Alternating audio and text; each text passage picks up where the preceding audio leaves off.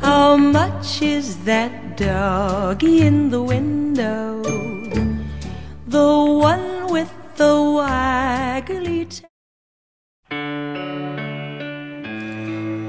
Max, what did you think of the Oscar Award winners? Were your predictions correct?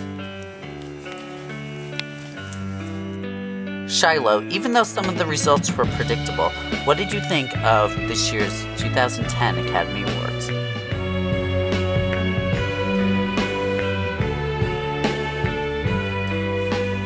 Max, what did you think of the Hurt Locker's win for Best Picture?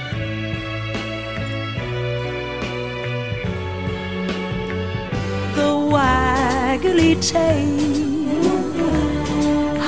Much is that doggy in the window?